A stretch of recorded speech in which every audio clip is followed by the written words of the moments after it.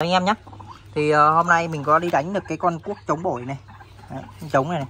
Mình thấy chơi hay quá. Mình chơi hay quá thì mình quyết định và vào cám để nuôi nhá. Thì uh, trước giờ mình cũng ít nuôi bổi lắm hiếm khi nuôi bổi lắm mình cũng vào cám nhiều rồi nhưng mà nó cứ nhát nhát ấy. mình không có thích kim nhát. Nên là mình cũng thả đi nhiều rồi. Mình vào cám một thời gian nữa nó nhát nhát mình thả đi. Thì cũng nhiều anh em muốn hỏi là uh, bác làm cái video uh, là hướng dẫn uh, cách vào cám chim bổi đi thì hôm nay à, em làm cái video chia sẻ cho anh em.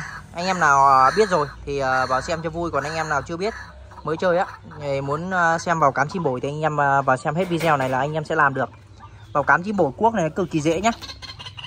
Đây trống này trống này, trống xẻ nhé chơi rất là hay nha anh em nhé thì đầu tiên anh em chuẩn bị một cái lồng như này.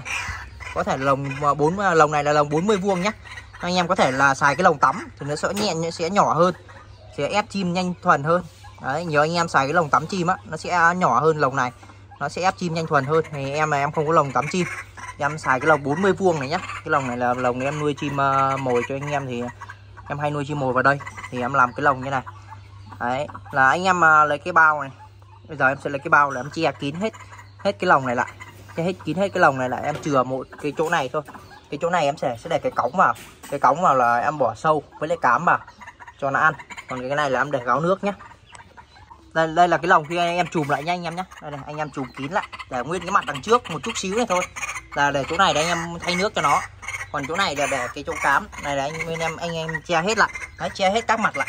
Mặt này cũng che lại nhé nói chung là che hết các mặt lại. Anh em để hở một chút xíu là đằng cám này thôi. À, anh em để chỗ tĩnh nhé chỗ yên tĩnh nhé ít người qua lại. À, sẽ nó nhanh nó sẽ nhanh ăn cám hơn.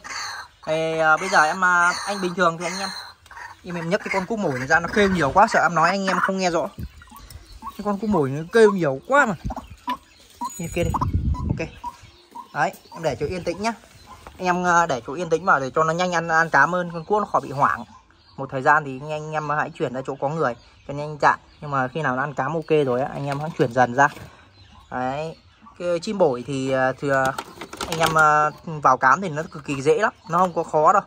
Vào cám cực kỳ dễ. Rồi sau 3 4 ngày là nó ăn thuần cám à tầm khoảng hai ba ngày là nó ăn ăn biết ăn cám anh em giảm dần dần sâu đi nhá. Đầu tiên là anh em cứ ngày anh em để ý anh em châm cám với châm sâu cho nó.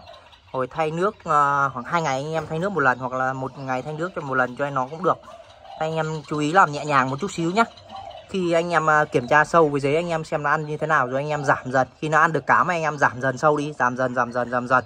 À, cuối cùng là anh em sẽ vào cám được. Trong vòng một tuần là sẽ chim ăn cám rất là cứng nhá thì đây em cám thì anh em có thể xài cám gà cám gà con hoặc cám gà lớn cũng được. Nhưng em thì em xài cái cám này cái cám bên em tự sản xuất đấy nhá.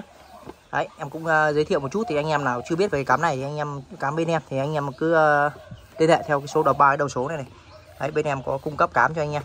Cái cám này thì bên em tự sản xuất cái cám này em cung cấp đủ mùi tươi trong này rồi thì em sẽ giúp giúp con chim. Nó con bổi nó ăn được cám này á nó sẽ đủ chất và nó nhanh căng hơn. Con chim mồi cũng vậy nó sẽ nhanh căng hơn giúp quá trình à, chim nó đủ chất. Tất cả các cá mồi tươi thì uh, vitamin thì em tích hợp trong cám rồi nên là chim nó ăn rất rất, rất là đủ chất và nhanh sung nhá. Ok thì bây giờ em cho sẽ cho chút cám với chút sâu. Sâu thì em xài sâu rồng này hoặc là anh em có thể xài sâu sữa nhá. Đấy sâu sữa hoặc là sâu gạo đều được ok. Thì uh, miễn sao là sâu là được sâu là được. Đấy anh em có thể xài dế nhưng mà xài sâu này dễ hơn. Dế thì nó hay nhảy ra ngoài. Em đổ sâu vào xong em đổ thêm tí cám vào. Là ok ít cám ờ, lượng sâu đầu tiên là anh em đổ ít cám thôi. Xong về sau là anh em giảm cám à giảm sâu dần. Nhiều sâu đầu tiên là nhiều sâu ít cám xong về sau lại nhiều cám ít sâu. Đấy như này. Đấy anh em nhìn. Còn bây giờ em thả con chim vào trong nhá. Rồi em đổ nước vào trong. Đây anh em đây là con trống nhá. Trống bổi nhá. Nếu mà anh em nào nhìn mà không biết nó kêu ấy, không nghe nó kêu á anh em sẽ đoán là con con mái. Đấy, tại vì nó nhỏ như con mái nhá. Con này là cái trống xẻ. Nó rất là nhỏ. Này, mỏ nó nhỏ xíu à đấy, cái mép nó dài về đằng sau này. Đấy. tương tá rất là ok rất là đẹp.